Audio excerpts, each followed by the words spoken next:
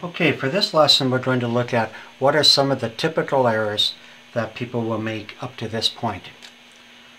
The first error is when they do 3 times 2n, it gives 6n, they write down minus 6 at the end. They forget that 3 has to go times that, and 3 has to go times that. Okay, so that's the error right there. Error. You can help yourself by not making that error in two ways. Remember that brackets mean both, and also put in the little arrows or the little rainbow like I do every time. The next error comes when they take 3 to the other side.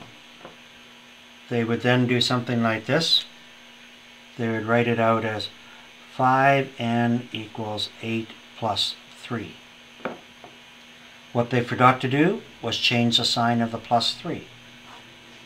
Error. Okay, you've got to remember if you're changing sides, change the sign. The next error, people will say 4p plus 2p is 6p squared. Error.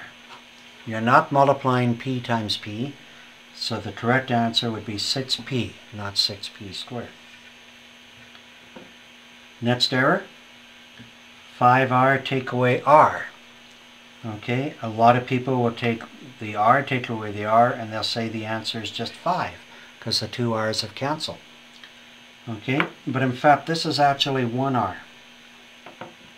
So that's an error there. What you end up with is 5r take away 1r and you get 4r as your correct answer. Okay, um, so if there's no number in front, assume it to be a 1. The next error, 3w take away 3w, I've seen students leave it with a w. They say 3 minus 3 is 0, so I don't have to put it down, but you'll leave it as a w. Error. Because you know that w is the same as 1w. So 3 take away 3 is 1?